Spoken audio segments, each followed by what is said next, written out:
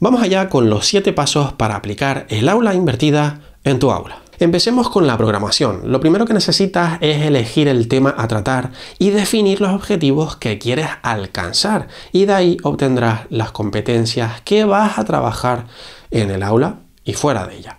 Busca algún vídeo o recurso multimedia que te pueda ayudar a despertar la curiosidad de tus alumnos y luego pasa a planificar las sesiones de aula. Preparación de materiales. En la programación buscaste algunos recursos, pero puede que necesites crear tú mismo algunos o seguir buscando un poco más. Pero recuerda, es importante que los recursos sean atractivos, interactivos, animados, etc.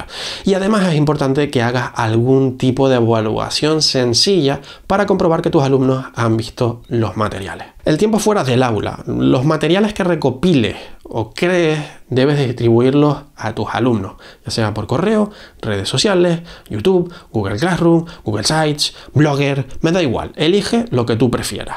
Tiempo dentro del aula. Gracias al test de evaluación que creaste antes, podrás ver qué dificultades tienen los alumnos. Así que ahora toca diseñar y adaptar el tiempo de clase a los diferentes niveles, desarrollar actividades individuales y grupales que exijan que el alumno desarrolle un aprendizaje activo. Resolución de dudas. Debes fomentar la participación en el aula y resolver las posibles dudas una por una. Actividades de consolidación. Es importante consolidar los conceptos abordados mediante actividades concretas en el aula. Y por último, la evaluación y autoevaluación. Y es que no puedes cambiar el modelo de aula y seguir evaluando el 100% de la asignatura con un examen final o sin evaluar la práctica de aula. Debes evaluar lo que los alumnos hacen en clase en su justa medida. Para ello puedes utilizar rúbricas en las que los dejes pues, muy claro a tus alumnos cuáles son los objetivos y competencias que quieres obtener de ellos. Compártela con ellos para que sepan lo que estás buscando y anímales a autoevaluarse. En el primer paso de programación hemos visto que teníamos que buscar recursos, pero muchas veces es casi una tarea imposible encontrar lo que buscamos y además que sea de nuestro agrado.